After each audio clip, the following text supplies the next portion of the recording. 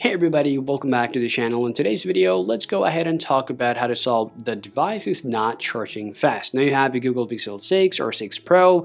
Now you see your Google Pixel is taking a lot of time to charge. Now you want to know how you can make your Google Pixel device to charge fast and how to solve the slow charging issue at the same time.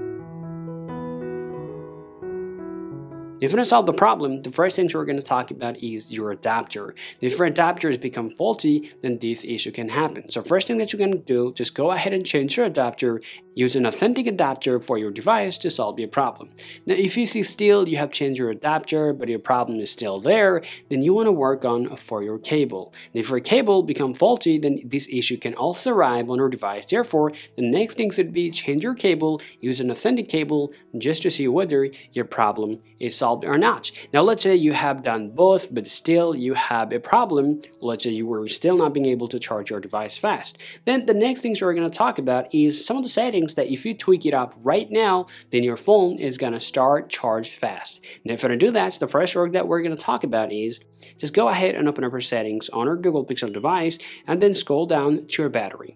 Now first, scroll down and tap on that battery saver and simply toggle this on. Now, enabling the battery saver features on our Google Pixel device, it actually blocks a lot of service. So what you can do, now you can charge your device while you're turning on the battery saver mode on your device just to see whether it is working or not. Now if you still got the same problem here, then all you want to do, just go back here and then tap on adaptive performance. And from there, first, all you want to do just go ahead and just turn on this feature called adaptive battery and make sure to turn up adaptive charging. Now, if you enable this feature, this is going to take a little long time than usual to charge your device. Now, let's go ahead and check whether your problem is solved or not. Now, if you have still the same problem here, there's a two last thing that you guys can do to make your device charge fast. First, just go ahead and shut down from the top here and simply enable the airplane mode, and then your device is going to block a lot of service on your device.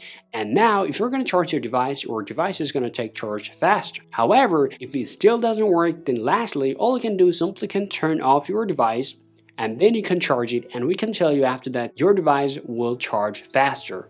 Alright guys, now here's a bonus tip for everybody. Now if you're running too many applications in the background of your Google Pixel 6 and 6 Pro, your device is not going to take charge pretty quickly. All you want to do is just go ahead and remove all those background applications that you're currently running, remove them one by one, and then just go ahead and charge your device and see if that works or not.